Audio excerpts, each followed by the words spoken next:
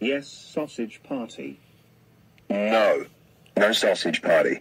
Do you know why we all hate the movie? Because that movie is rated R. And also, this movie have a lot of bad words. And also, that movie has a lot of food characters that kill each other. That is not even party. And by the way, do you remember on Michael the Rack Wrestling Guy Season 3, Episode 4? Michael the Rack Wrestling Guy made a run on Sausage Party only on Monday, the 30th of January 2017. You're super duper extremely grounded, grounded, grounded, grounded, grounded, grounded, grounded, grounded, grounded, grounded, grounded, grounded, grounded for 13 weeks for saying that. Go to your room and go to bed and never ever ever ever ever ever ever ever ever ever ever ever ever ever come out again.